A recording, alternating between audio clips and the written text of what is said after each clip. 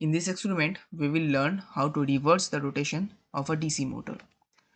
So we don't need this LED anymore. So we will just select on this and click on delete. All the wires connected to that LED will also get deleted. Now we will connect this both negative terminals and this both positive terminals. And if we start the simulation, we can see that uh, we have a positive value of RPM. Now to reverse it, all we need to do is connect the positive terminal of battery to the negative terminal of the DC motor.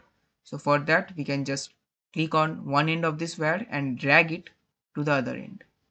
Now select on this negative wire and do the same thing drag it to the positive terminal. Now if we start the simulation, we can see that we have negative value of RPM. So that means the rotation of our motor is reversed.